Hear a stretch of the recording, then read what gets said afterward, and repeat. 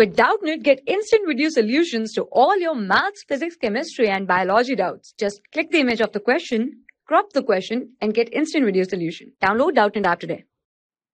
The question is when 3 gram of carbon is burnt in 8 gram of oxygen, 11 gram of carbon dioxide is produced. What mass of carbon dioxide will be formed when 3 gram of carbon is burnt in 50 grams of oxygen? And also which law of chemical combination will govern your answer? Okay, so if we talk about this, then carbon is combining with oxygen and leading to the formation of carbon dioxide. And it says that 3 grams of carbon reacts with 8 grams of oxygen and leads to the formation of 11 grams of carbon dioxide.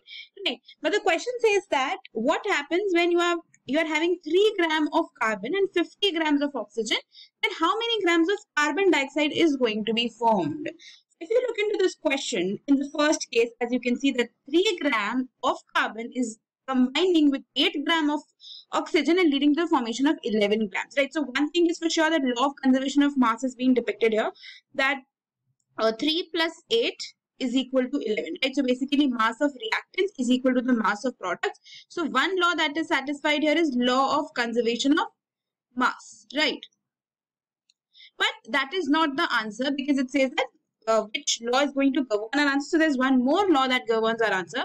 So basically what happens is that as you can see here that only 3 grams of carbon reacts with 8 grams of oxygen, right? So 3 grams of carbon needs 8 grams of oxygen to react with. So when you're adding 50 grams of oxygen to 3, 3 gram of uh, carbon, what is going to happen? The 3 gram of carbon is going to react, it is going to still react with 8 gram of oxygen only. Because as we saw in the above reaction, it was obeying the law of conservation of mass. It means that 3 grams react with 8 gram of oxygen only. Which means that whichever amount you are taking for oxygen, only 8 gram of oxygen is going to be used when you're using 3 gram of carbon, right? So basically 42 gram of oxygen will be left. 42 gram of oxygen will be left because only 8 gram is going to react with it and 11 gram of carbon dioxide is going to be formed. So basically this also shows the law of definite proportions.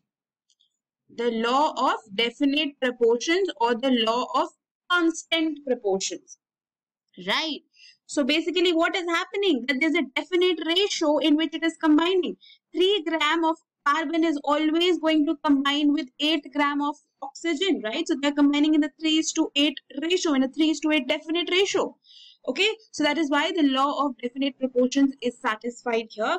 And always, if you're using a given amount of carbon, which is 3 gram in this case, it is going to react with 8 gram only.